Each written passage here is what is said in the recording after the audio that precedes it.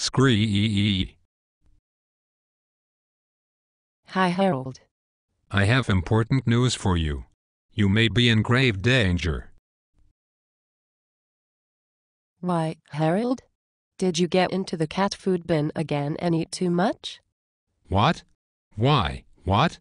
What? Why? No.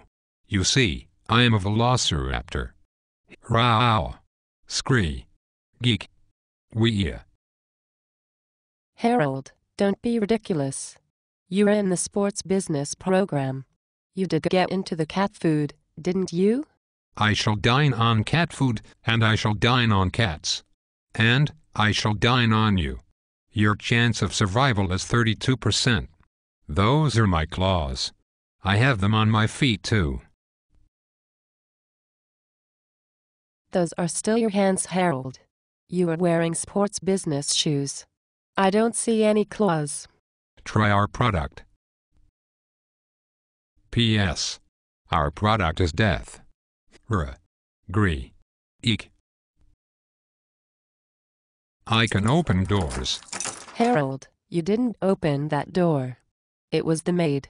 Honestly, I question whether or not you can open doors, but that is not the point here. The idea of sentient velociraptors was made up by a global warming denialist who is now dead. Dead. By Velociraptor.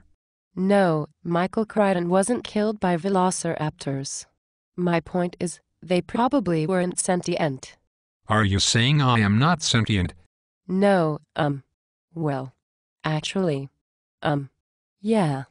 Maybe you aren't. Hey, aren't you scheduled for your swim in the pit full of tennis balls? Oh.